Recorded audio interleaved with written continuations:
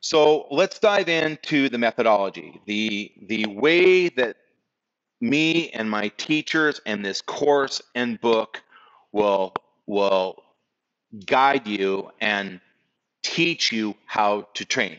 Okay, this is not just a bunch of files dumped in a folder and you have to sort of sort it out and figure out where to go and what to do and you don't really know what you're doing you're just, just kind of you know following a scale that's not what we're doing here that's somebody else's program that's not our program we have a real process and a methodology um, with this thing that is getting amazing results for people and i want to go over that a little bit with you now all right you're going to practice and study onsets now onsets just means the beginning or how you start a note. We'll elaborate that a little bit more in a second.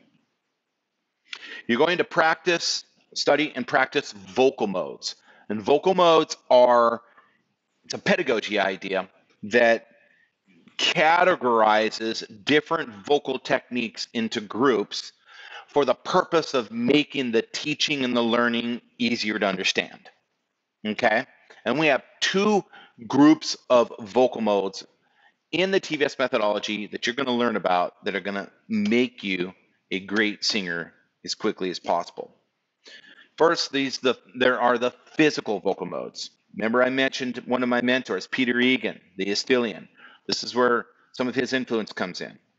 Physical modes are are eight unique ways that the larynx is set up or configured, okay, that creates a unique acoustic effect or sound color and and and we can manipulate the larynx if you will into some into some exotic positions that help us with singing and help us to understand better what we're doing or what we should be doing okay this is called vocal modes three of the eight vocal modes you can learn in the program that are important for singing that you need to understand and you need to train to become a great singer are twang vocal mode, cry vocal mode for sure, my favorite, and distortion vocal mode.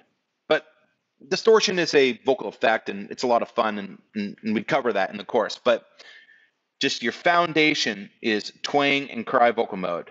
They are important. Okay. Now, the other kind of modes we have are acoustic modes. Acoustic modes are a set of 10 vowels or 10 sound colors that you will train in our integrated training routines, in our workouts that you're going to get into. Okay. So vocal modes are just groups of vocal techniques that are categorized, put into little groups. They're categorized and labeled for the purpose of making things easier to learn and easier to teach. All right. It's a voice pedagogy idea. And there's two groups that you're going to learn as a student physical modes, which are laryngeal positions, and acoustic modes, which are 10 different singing vowels or sound colors, or you could say 10 different resonances that you train with in the scales that you're going to get to know. Now, one of the things that's also unique in the TVS training method is um, I developed training workflows. Now, a workflow just means step one, step two, step three. It is the sequential steps for any process. And in the course, in the book, in the methodology, there are some processes. For example, some of these onsets we mentioned at the top have have training workflows to them. Okay, step one, step two, step three. So when you train an onset called contract and release, we have an onset and it's called contract and release. It has its own step one, step two, step three training process that you'll learn about in the course and in the book that helps you to learn more quickly. Okay.